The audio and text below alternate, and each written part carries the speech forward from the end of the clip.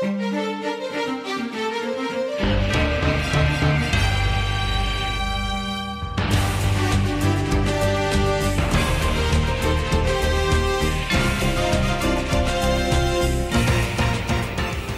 evening, friends. Uh, I hope you had a very warm and nice uh, tea and or coffee break and are refreshed for our last session of the day, which is experience predictability in software project delivery.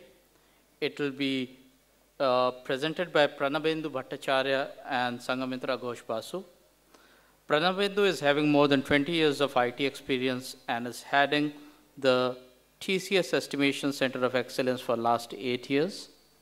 He is a postgraduate from IIT Kharagpur and has been a chief consultant for many, estimate, many estimation consulting engagements. He's also one of the core members of ITPC guiding committee and presented, the presented papers in various international colloquiums.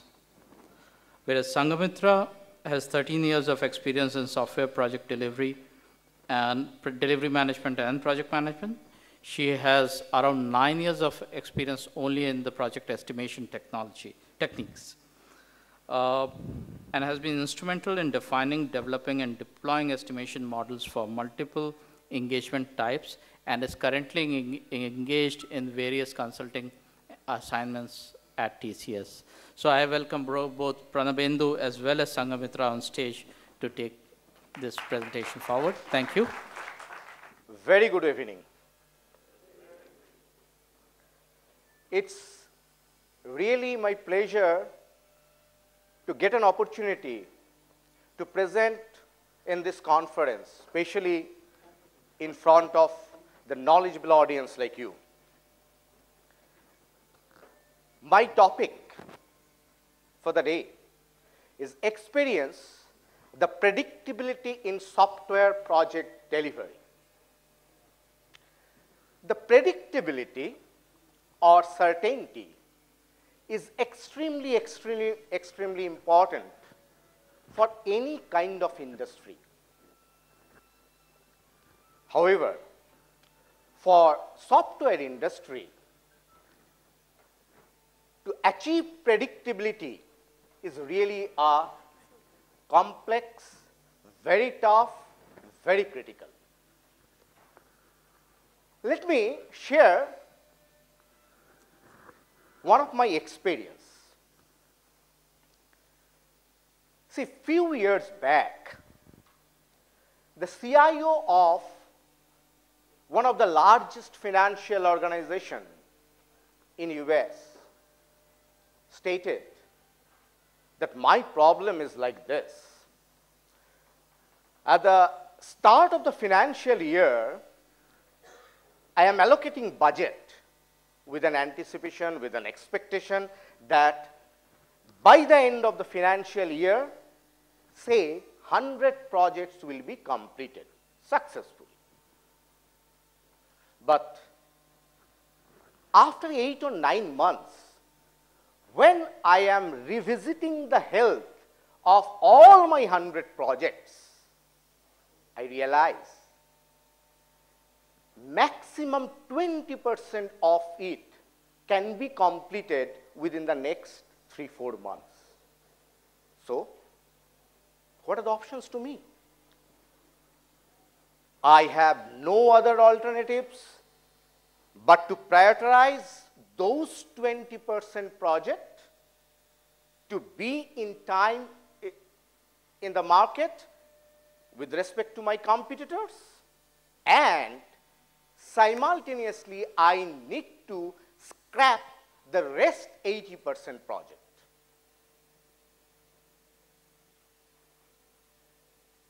Now, even to complete those 20% highly prioritized project, I need to hire some short-term resource in very high rate. This grab value of 80% of the project and this hiring of resources, short-term resources, crossing billion dollars each and every year this is my problem. So my question was like this, on what basis you are allocating budget? He was telling that it's like one fine Sunday morning, someone is coming and throwing some numbers to me. Probably it has no basis absolutely. That's the problem. So, to address this scenario, what are the measures, what we need to do is what we are going to discuss in the next 25 to 30 minutes.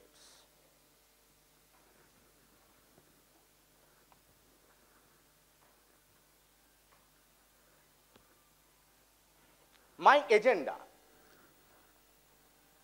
typically break has been broken into three sections. First one, the need, the challenges, and then what is our solution approach and a real, real, real life case study. Okay?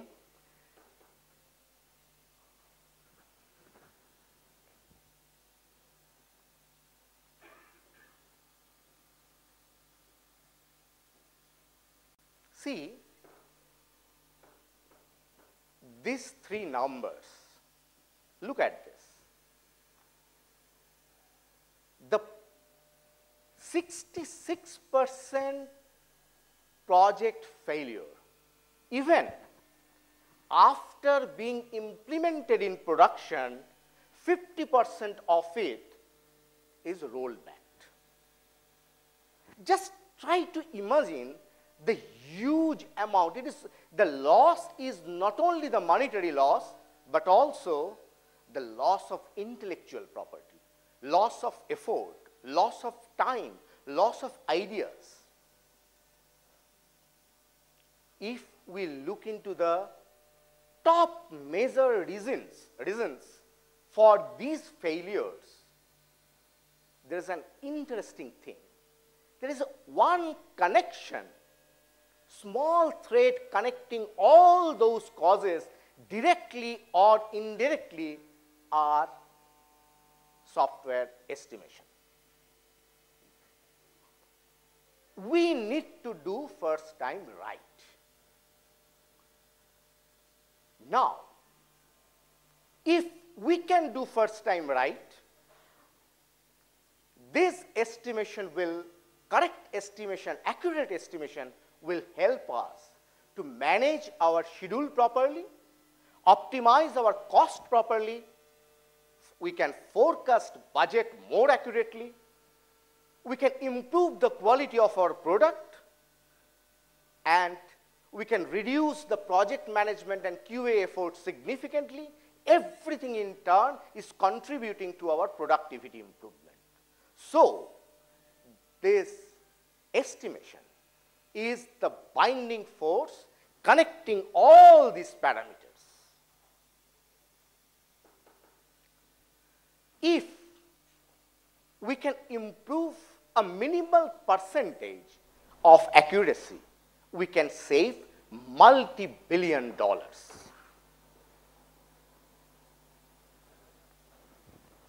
Now, the common challenges and gaps from our experience are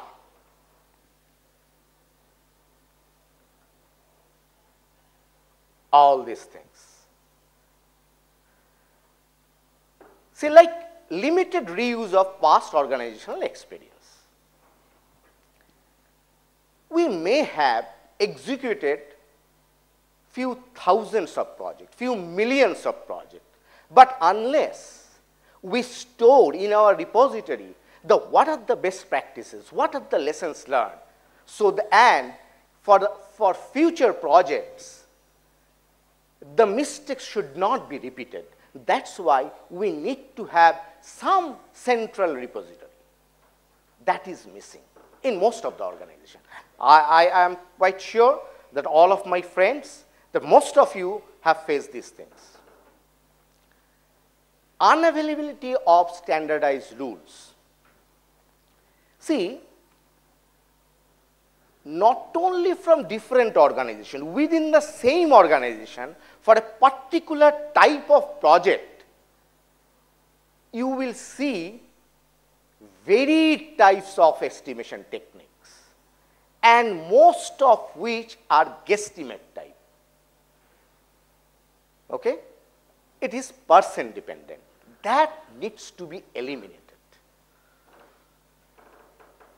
Absence of guidelines or proper process, say like consideration of the project specific parameters, geography specific parameters, or maybe domain specific, technology specific parameters, those things are not that exhaustive.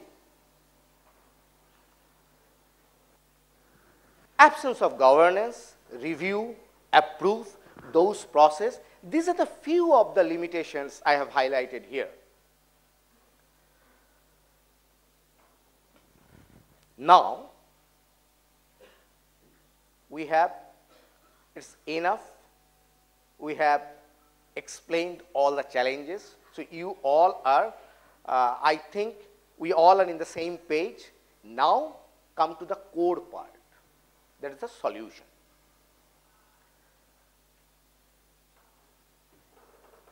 In the solution sections, there are three categories. It is a three-legged process, you can say. First one is the estimation framework, which is driving the standardization.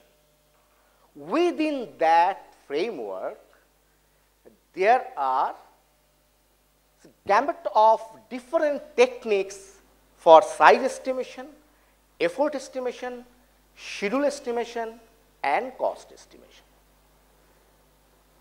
Then, using those techniques and using the multi-dimensional decision matrix, we need to identify or select what would be the best suited model or methodology for a given combination. So, model is nothing but a set of techniques, see one each from for size, effort, schedule and cost for a given combination of decision metrics. What are the decision metrics? It can be technology or platform, domain, maybe software development life cycle, whether it is a waterfall model or agile or iterative, it can be anything. So, depending all those parameters, we will, we need to identify the best suited method or model. This needs to be supported by uh, the proper process and guidelines. This is the need of the day. If we can select it properly, this will drive the accuracy. And after, after that, if we use all the suggested or recommended techniques, then we need to gather some actual data. It can be quantitative or qualitative. Okay? And accordingly, we need to take action for further improvement. Now, let me go in little more detail. See, the inbuilt component within these frameworks are typically size estimation techniques. We know and the, uh, my friends who are actually working in software industry might be aware of that. The size estimation technique can be function point, use case point, KLOC, COSMIC, FISMA, NESMA, anything. There are a lot of techniques available in the industry. Effort estimation, it can be analogous technique, similar type of project. It's a, I mean, uh, top-down technique, bottom-up work breakdown structure based technique, parametric, statistical technique, PERT technique. There are lot many techniques available for this. Similarly, for uh, schedule, COCOMO method, critical path based method, cost, everything. Phase wise distributor. The phase, the difference phases depending on the SDLC and the type of project phase may vary. We know that for typical waterfall model for uh, development project. What are the uh, generic phases? We know that requirement analysis, then design, high level, low level design, then construction, unit testing, system testing, integration testing, like that. And what would be the typical distribution of effort and schedule? Now, for the maintenance project, the number of FT, that FT calculator, that is extremely, extremely important. Okay? So, to say uh, for a managed service application, say like uh, 500 or 1000 applications for uh, different technology, developed in different, different technology, or maybe uh, different domain also, what are the number of FTs required uh, to support all those things? You need to know that when all, the, you need to categorize it, that when all those applications has been implemented, whether it is a very stable application or not, whether uh, how many concurrent users are using those uh, applications. So depending on different parameters, actually our framework will guide you. It is our framework, we have made our framework intelligent enough. Gathering all the intelligence and knowledge from you. See, whenever we are doing some estimate, it may be guesstimate type, but something in your brain is working or back of the mind something is working. We are translating and collecting all those informations from different persons and we collectively we are forming some estimation parameters estimation techniques so that we can eliminate percent dependency system can suggest you what would be what would be the best way to do the estimation next is this driving the accuracy as i mentioned that depending on the decision matrix, we need to identify what would be the best suited method. See, for some project, for a given combination of those decision matrix, it can be function point for size estimation, maybe bottom-up technique for uh, effort estimation, COCOMO method for maybe the schedule estimation, like that. So, that is very, very important. Now, See, here one interesting thing is, some thumb rule, like if it is a development project, size estimation technique should be function point. Or if it is a uh, uh, agile, um, uh, the SDLC is agile, then we will go for story point based estimation. If it is a object oriented, then we will go for use case point, like that. But you will get a flavor of different technique and your historical data will help you that which one you should follow, which one would be the best suited. That is extremely, extremely important. And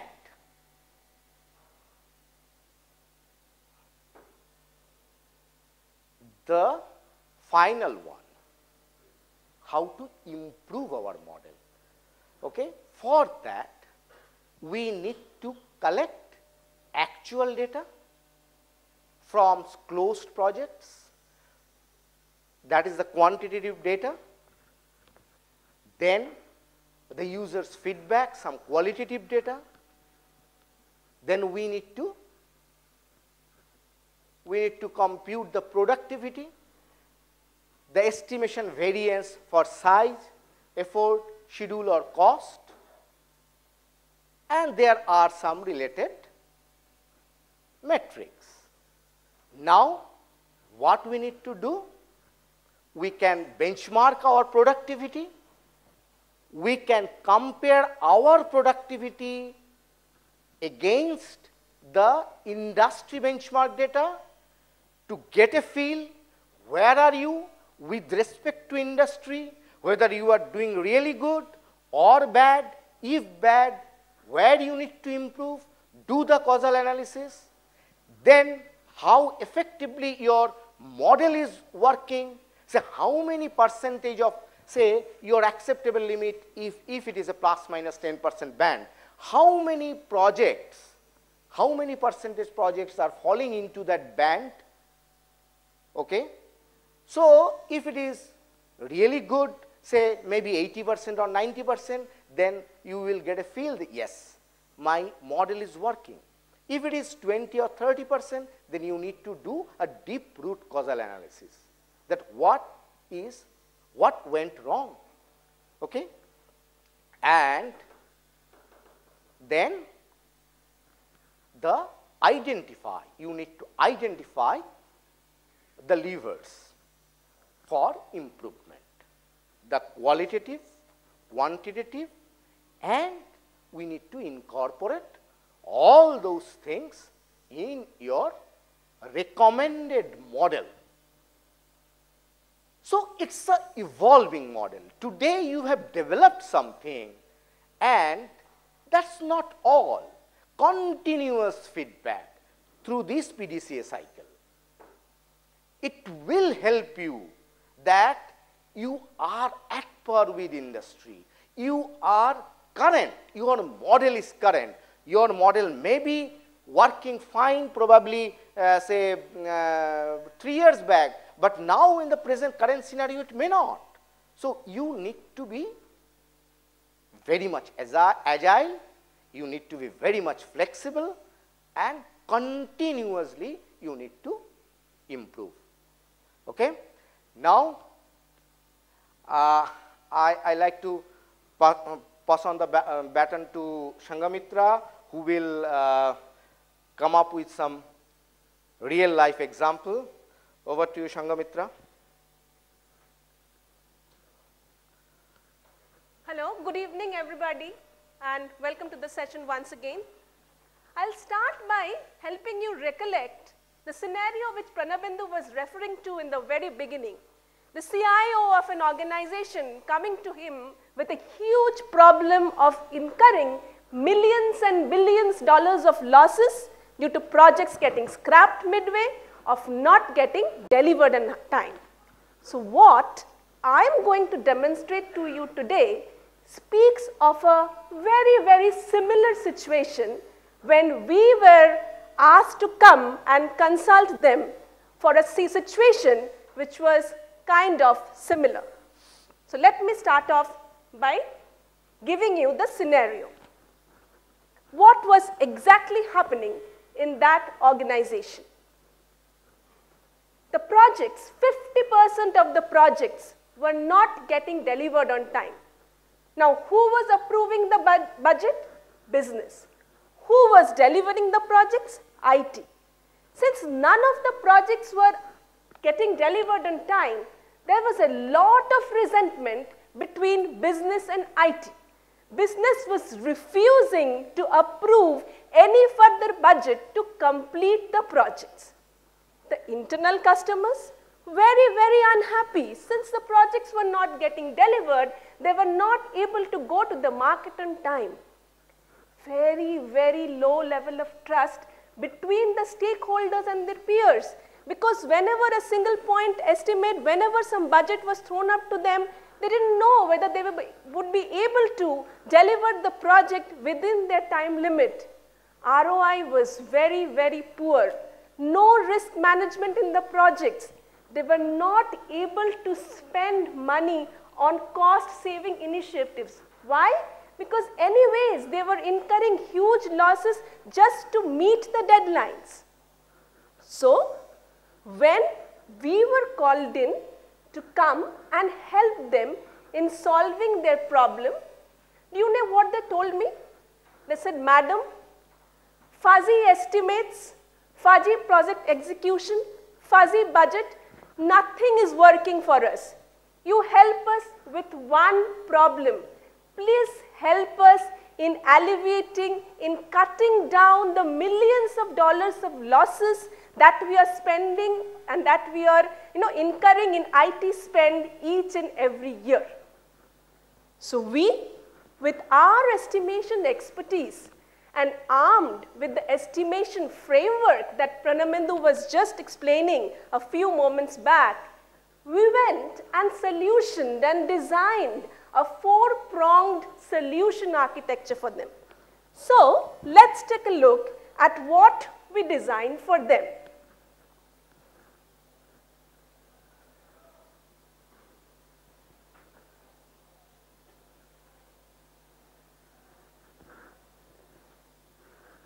Here goes the four stages. The first stage, determine. It was a fit gap analysis phase to find out what are their existing problems. Are they doing any estimations at all or are they just throwing up numbers? Are they doing any sort of size estimation to understand what is the volume of work they're delivering? Are they benchmarking any productivity? Are they comparing themselves internally or with the industry? What is the amount of spend or the amount of effort spent in the different project management quality initiatives that they would be incurring as effort in their projects? So, at the end of the determine phase, we came up with a fit gap analysis report and we came up with a prescription as to what they should do to come out from this problem.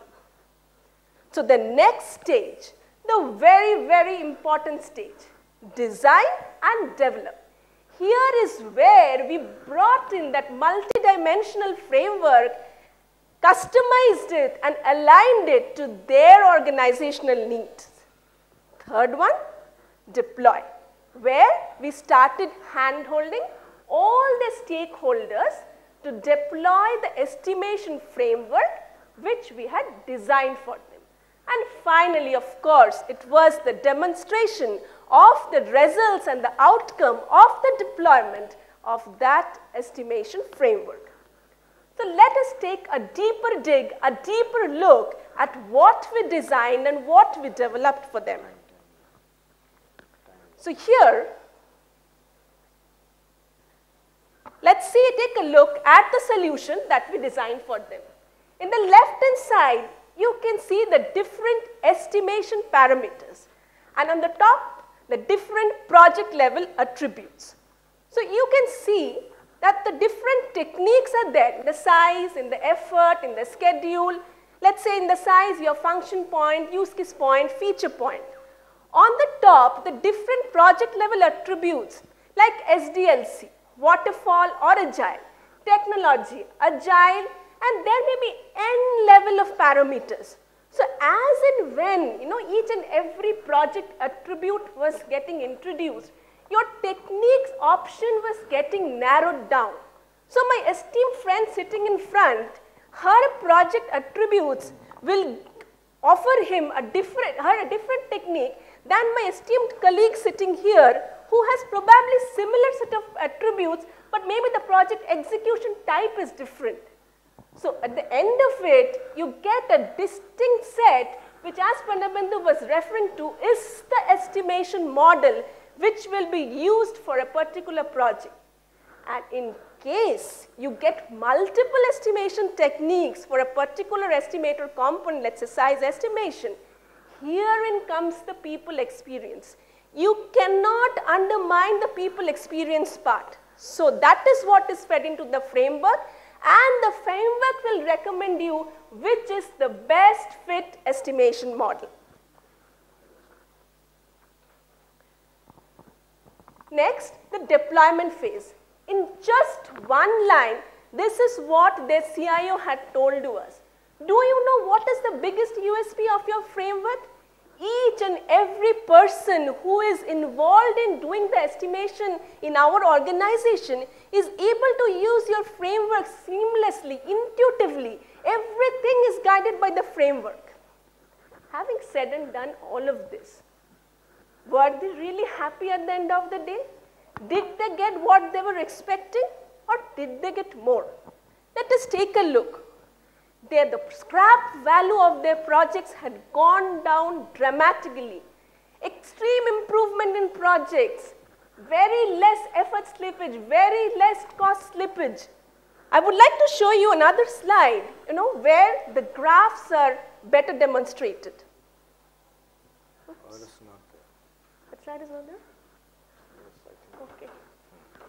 Okay, so let me tell you, let me just give you a demonstration as to what happened in that scrap value reduction. In four years, the scrap value in year one, when we had got into the engagement, the scrap value was around $500 million.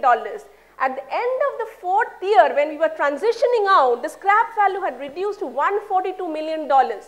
For model effectiveness, for one particular model, in the first phase, when only you know 30% of the projects were in the plus minus 10% variance phase, when we moved out, around 75% of the projects were in the plus minus 10% variance stage. And today, today I can tell you that 90% of their projects in the plus minus 10% variance stage. In all the four years, in all the four years, they showed a steady improvement of productivity across all the seven to eight major platforms in which they are working. So, to sum it up, as project managers, where we are involved in the day-to-day estimation of projects, to utilize the science and art of estimation properly, to deliver accurate and predictable estimates, to remove uncertainty, which is the theme of this event. An estimation framework like this is the call of the day. Thank you. Thanks a lot, Pranabendu and Sanghamitra.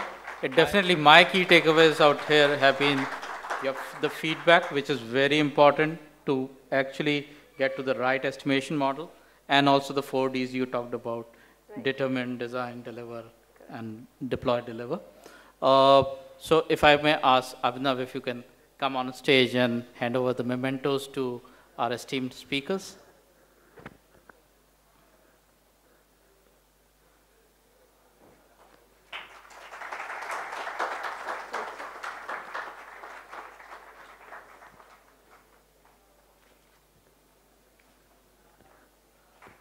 Thanks a lot, gentlemen.